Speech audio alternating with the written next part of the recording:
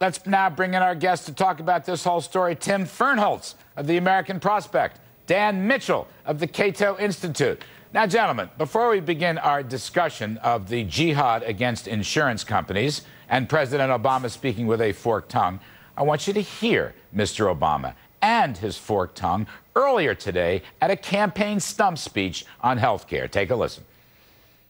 If this vote fails, the insurance industry will continue to run amok.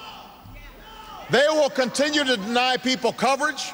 They will continue to deny people care. They will continue to jack up premiums 40 or 50 or 60 percent as they have in the last few weeks without any accountability whatsoever. In the last few weeks, I don't know what he's talking about. There isn't a single insurance company that got that. And I want to say this before we start this off.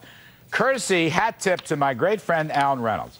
I guess in the left wing blogosphere, Tim, I'm going to go to you on this. Please. Yeah, listen, uh, one of the WellPoint subsidiaries, Blue Cross Blue Shield, Anthem Blue Cross Blue Shield in California, requested, requested a 35 to 39 percent increase. Now, a request was not granted. A request Isn't that is an not argument for regulation? A Isn't that an request argument that not those requests shouldn't be granted? No, because they didn't get it, and you know they wouldn't Exactly, get it. Exactly, and without so, the kind of uh, so what's stuff- he talking Not about? every state can do that. Larry. What's he talking about? In He- Michigan, no they asked for a fact. He's the president, Tim. Let me ask the question before you come out.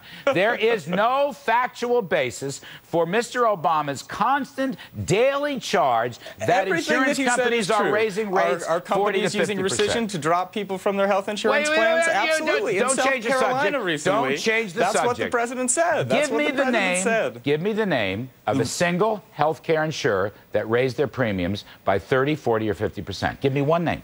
I think if you look at the requests that are coming in in Michigan, they wanted to raise it 56%. Give me a in name. Washington State. Those are requests. The states will never grant them. There's too much competition. But not every state has the ability to review those requests, and that's why the president's bill has that power across the country, right, so that no one is subject right, to those Tim, increases. you are not addressing the issue. You are sidestepping the issue, and I'm disappointed in you. I want to go to Dan Mitchell on this. Dan, I'm going to put Sorry a, to disappoint. I'm going to put a chart up on the board from Alan Reynolds, the Consumer Price Index for healthcare insurance premiums. This is was uh, It's a very misleading chart, All incidentally. right, maybe so. I, I'm going to grant you that. What it shows is that the inflation Uh, has raised a 4% over the year. Tim. Let me ask Dan Mitchell, for God's sakes, before you come out. Tell him about It's annualizing. up 10 or 12 percent. These are 12 month changes. Now, they've only been keeping the data for five years or so. So that's why this chart starts at the end of 2006. That's the first 12 month change. It's not seasonally adjusted, but it is all urban consumers. 12 month change, CPI for health insurance. It uh, falls off a cliff in the last couple years. Now, Dan, Tim makes a good point that in a recession, premiums might go down. I'm willing to concede that point. But what does interest me, Dan, is um, just about a year after the recession ended, it continues to level off. So I want to ask you how does President Obama come off accusing insurance companies of getting 30, 40, 50% premiums when they have not? And the Consumer Price Index chart shows that there's nothing like that. In fact, in the last two years, premiums have gone down, Dan Mitchell. He has the whole story wrong. What's your take? Well, clearly the president's engaging in some massive exaggeration, if not outright lying, as part of the end game on this battle. But in some sense, this is like on the list of all the lies that are being told, this is like number 10 or 12. Uh, the fact that a giant new entitlement program is supposed to reduce the deficit, I'll bet my left wing friend uh, whatever amount of money he wants that the deficit will go up as a result of this. And I don't even think the deficit is what's important. This is a giant expansion of the welfare state to make America like Greece. Why anybody would think that's a good idea, I don't know. On the issue of premiums, we have to remember that there's a cart and a horse, and what comes first? Rising health insurance premiums over time, let's set aside this, this blip where they've gone down. Rising health insurance premiums over time are a reflection of rising health care prices because of all the government and that's intervention, exactly why we need to and look at how insurance companies operate. This this uh, effort by No, the it's- president it's is going why to we need to get rid of this third-party payment, and Obama's proposal is increasing third-party payment. We have not had What a we free need to market do in is look at healthcare what- since probably what kinds of treatments One at a time, one at a time, one at a time, one at a time. All right, go ahead, Tim. I want to add one thing. I actually have two more things I want to add to the pot. The uh, Caterpillar Company, which is a great American manufacturer, they wrote a letter to uh, Speaker Nancy Pelosi, March 18th, 2010. And they say that the new uh, plan is going to drive up Caterpillar's health costs by 20%, which is over $100 million in year one. Okay? Now, second, I want you to deal with this one. Mr. Obama, in addition to speaking with a forked tongue, about 40 and 50 percent insurance premium hikes, which has never happened. And in fact, the CPI data show insurance premiums are falling in recent years. He also has accused them of making excess profits, okay? Businesses, by the way, are in the business of making profits. So, courtesy of University of uh, uh, University of Michigan professor Mark Perry on his great Carpe Diem blog site, he shows there are 16 healthcare sectors.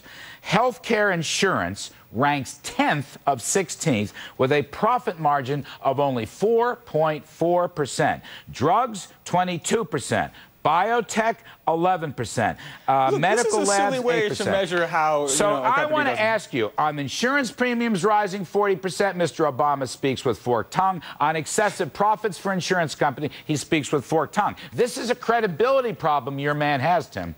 I don't think there's a credibility problem at all. What the president was saying is that without changes to the system, your health care costs are going to keep going up. And the Congressional Budget Office has shown that this bill lowers health care costs across the board. And the reason why it's important That to look so at not what true. Yeah, that's exactly what it says. Look at look at the report. And I'll tell you what, what the president is trying The to do The administration says that total health care costs are You're a going free up market under guy, this bill. right, Larry? You like free markets, you like competition?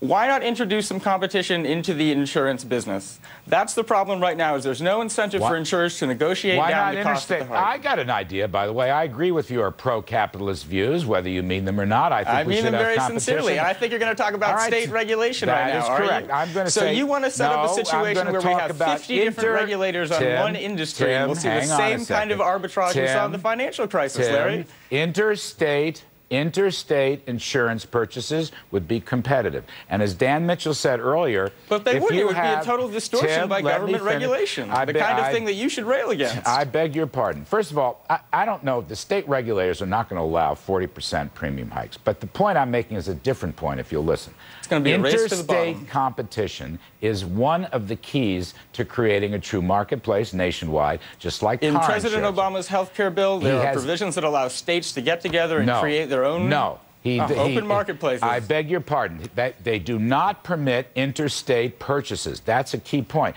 And this, the second point that I'll make here is get rid of the third-party payment system, as Dan Mitchell suggested. Dan, I want you to argue this because I, you need to teach Tim how this works. What if we give the tax break to the individual family, Dan, so they have to spend out of pocket rather than the business or the government? Well, first, let me make one point about profitability by industry. The pharmaceutical companies that were number one on your list, they're the ones that are in bed with the White House. They're the ones spending millions of dollars on ads in favor of government run health care. So, all this left wing demagoguery against big business, somehow it goes quiet when big business gets in bed with big government to screw over taxpayers and consumers. Crony but on your point about, Crony about third party payment, yeah, this is like we're a banana republic. It's really depressing what's going to happen to America. Oh, come Uh, but in terms of your point about third-party payment, what we have to realize is that 46 cents out of every dollar for health care in America is directly financed by government, and then a majority of the rest comes as a result of the tax exclusion for employer-provided care. Only 12 cents out of every dollar is paid for out of pocket. Hmm. No wonder we don't have a functioning healthcare system. And the one place we do, cosmetic surgery and laser eye surgery, where we actually have a functioning free market, not over-insurance and third-party payment, quality goes up every year and prices come down or are stable. That's the success story. We should be And emulating the it. president is Instead, we're trying going to to make do the that. system That's what worse. the healthcare excise tax is. It's saying that No, this he's income is not expanding going to be third-party payment. And also the way He's that he expanding gives, third-party payment. you can keep repeating that. We have over-insurance, and he's making it worse. Uh, He's and we're giving people wind who don't have the insurance the ability to buy it while putting in measures to control costs. 1.4 percent. Well, That's first of all, he's dumping lots of people into Medicaid, which, is, which is a giant welfare expansion. And then he's talking about subsidies that are simply going to drive up the cost. Just like everything the government gets involved with. We subsidize higher education, we get higher tuition. We subsidize health care, we get rising health care Right. prices. Government is the cause of all the problems in the wanna, sector. I just want to put that chart back on the board. The right. consumer Tell that price to the index people who are for health satisfied with their insurance. Medicare and I their just want to put that that back on the board because that thing has dropped like a stone in the last couple years. Maybe some of that is recession, as Tim Fernholz has suggested, but I think the fact that it It's is still leveling- higher than price inflation and leveling higher off- than wages. It is leveling off at a ve- it, look. It has actually declined in the last two years, and I got to tell Thanks you, to the recession. I don't appreciate Mr. Obama attacking the profits of the insurance companies when the facts show that their I think if shareholders margins are concerned low. about insurance company what profits, you've got they should here look at how much they're paying their chief against executive insurance officers. companies. Tens This of millions of dollars to run these companies. I'm and sorry. these shareholders you, are you just got, not paying attention to Tim, it. Tim, you and my other left-wing friends hate big business. You hate business, and you hate profits. Not Isn't true, that not at the true. bottom here? You want the government to run the business sector, and you want the set up a government to run the healthcare sector. Isn't that your real agenda, Tim? Absolutely not. This plan that you're seeing here is extremely centrist. It's similar to plans proposed by moderate Republicans in the 90s. What it does is it helps the private system. It leverages what the public system can do to make it easier for the private system to work better. Dan Mitchell, do you regard this as a centrist plan? And by the way, do you regard this as a budget busting, non centrist plan? Well, it's a centrist plan in terms of the French political spectrum. In terms of the U.S. system, though, this is a radical you're expansion of government.